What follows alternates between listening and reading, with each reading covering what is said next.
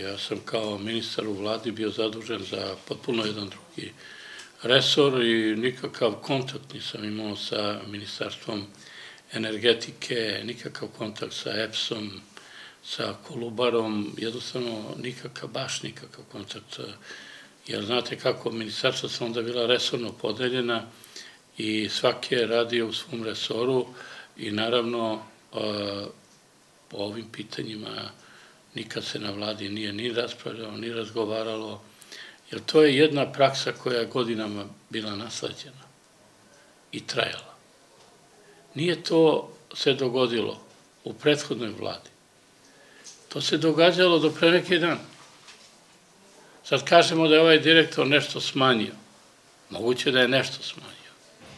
Ali sve je bilo isto godina posebno kad su bili remonti i tako dalje. Ne treba posmatrati usko jedan period i posmatrati 3-4 godine samo, koje odgovaraju ovoj vladi. Treba videti šta je bilo i 2000. godine, 2001. 2002. Kad su bile te malverzacije, i pre 2002. Prema tome, neki su ljudi tamo proveli čitav radni vek, kao privatnici, kao kooperanti, kao konsultanti i tako dalje. Na tome, jedan proces koji treba široko posmatrati. Kako sad, evo ja juče slušam, ponosimo se izvođačem mosta na Beškoj. A to je bio isti izvođač za koncesiju Horgoš Požega. Kako taj izvođač ne valja, na ovom projektu, ovom je bio odličan.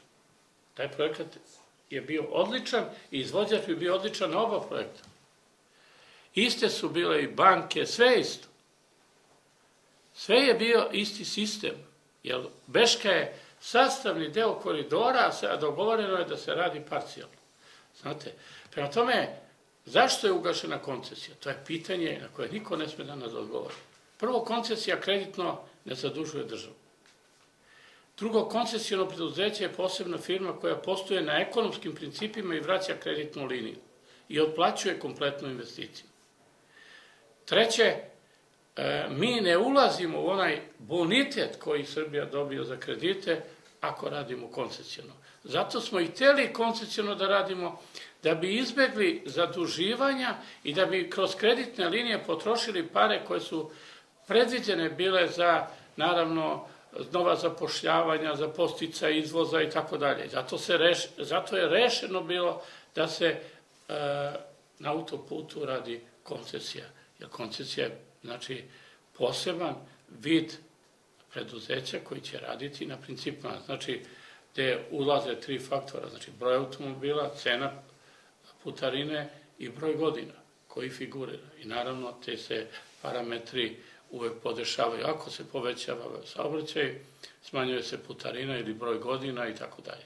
Prema tome, to je koncecijno preduzeće koje se pravi na nivou države,